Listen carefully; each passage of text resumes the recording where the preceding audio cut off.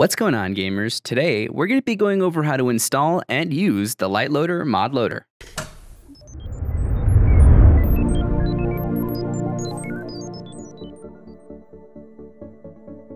Before we get into this tutorial, don't forget to give this video a like, subscribe, and click the notification bell so you can get notified of all our tutorials we upload, just like this one. Minecraft mods offer a fantastic way to spice up and add new features to your Minecraft game. Using mods, your Minecraft game can be turned into anything you can imagine. They add new blocks, new items, enemies, dimensions, and even change the gameplay completely. Minecraft mods come in many shapes and forms. Throughout the years, the face of Minecraft modding has changed completely, as different mod loaders came and were replaced. Nowadays, the dominant mod loader is Forge, and it's what the vast majority of mods are built upon. However, Forge isn't the end-all, be-all of modding.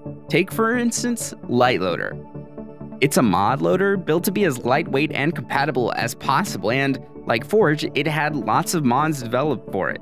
But unlike the other mod loaders that Forge ended up overtaking, LiteLoader remained popular, and that's important for two reasons.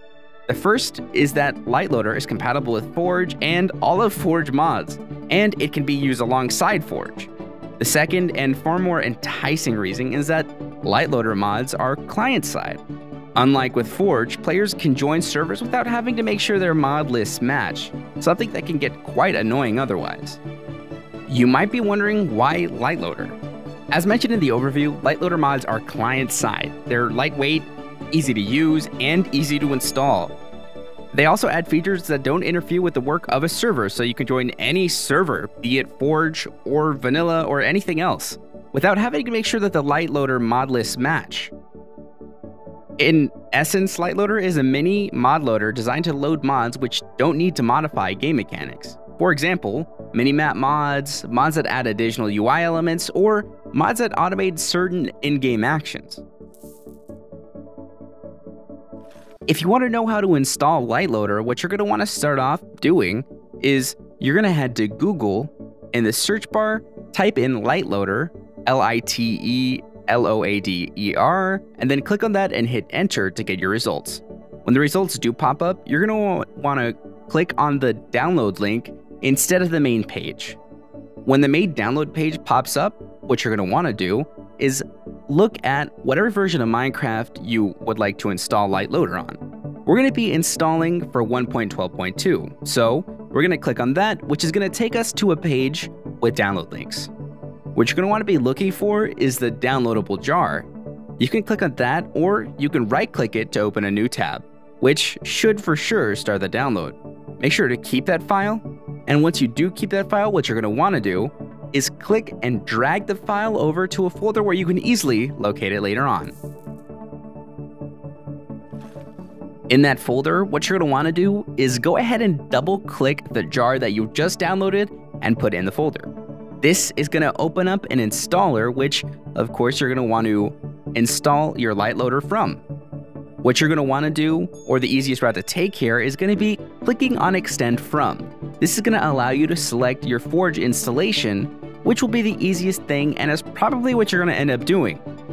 If you don't want to install on Forge, make sure that you just select the profile that you would like LiteLoader to be on. Then of course, go ahead and click OK, and this should install LiteLoader onto your version of Minecraft. Now, today, I showed you how to install for 1.12.2. This will only work for 1.12.2, so make sure that you're installing for a specific version of Minecraft.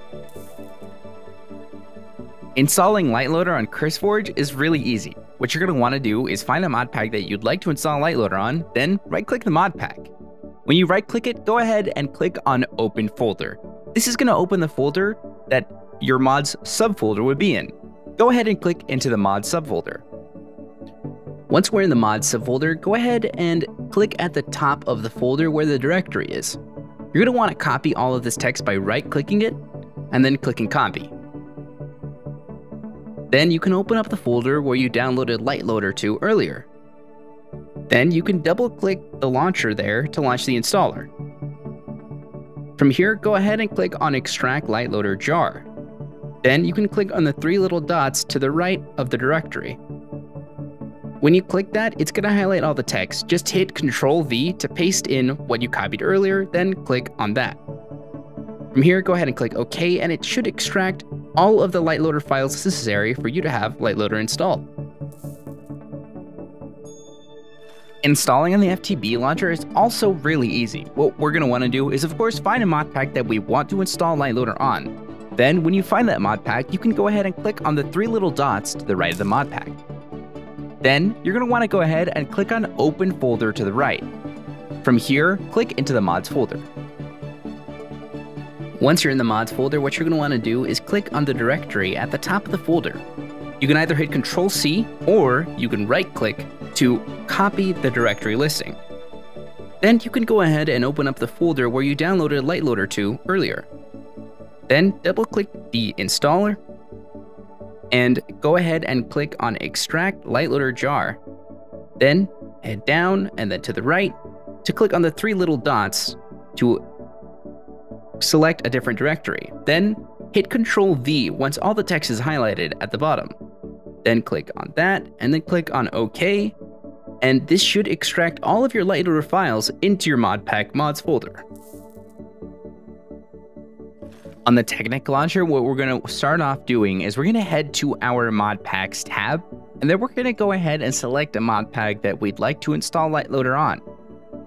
Then in the top right, we're going to go ahead and click on the mod pack options.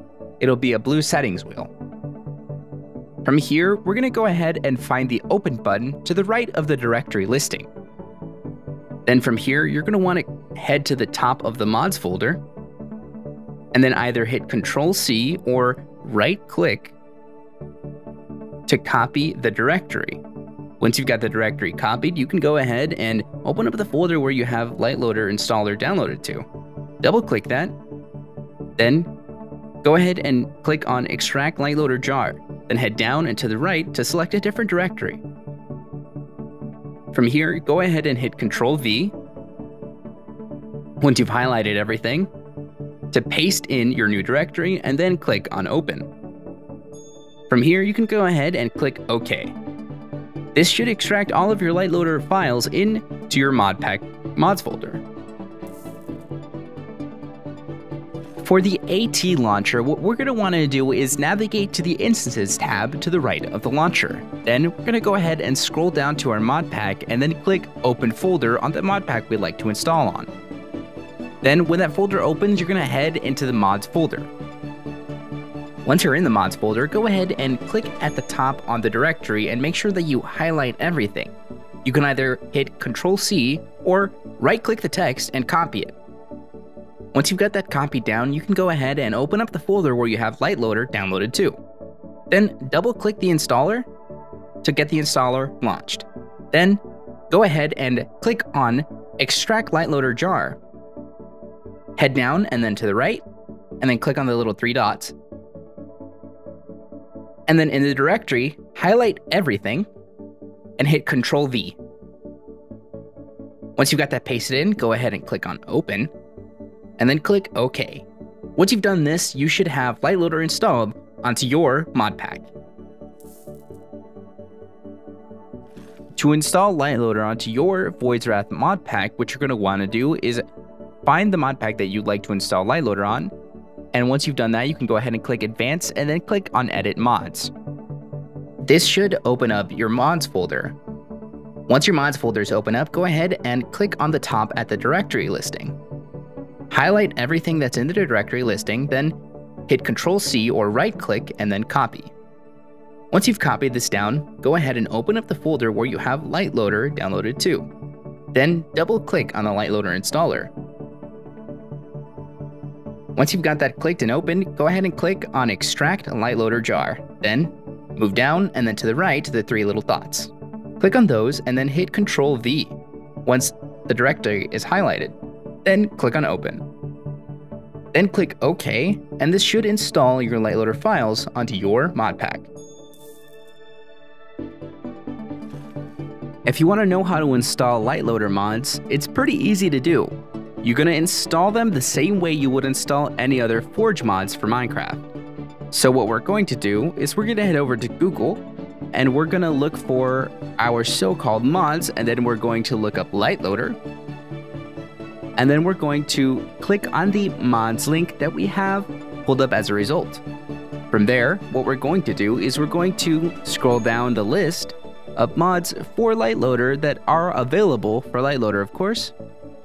And then for this version of Minecraft, we're going to be picking 1.12.2. So now, we're going to head to each page and make sure that it has an install for 1.12.2. All of the links you're going to need to download are going to be to the right of the mod, so you don't need to open up each individual page of the mod, for this page specifically at least.